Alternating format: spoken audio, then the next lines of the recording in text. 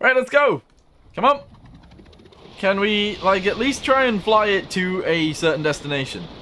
I think we can. Okay.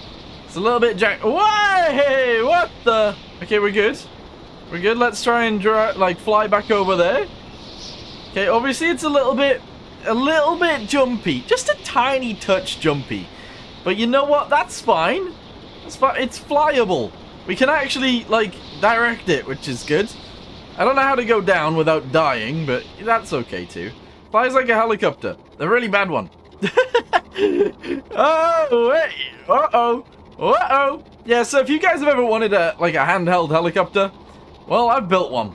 And, uh, it's awful. But yeah, let's go ahead and land. There we go. Okay, I can't turn it off.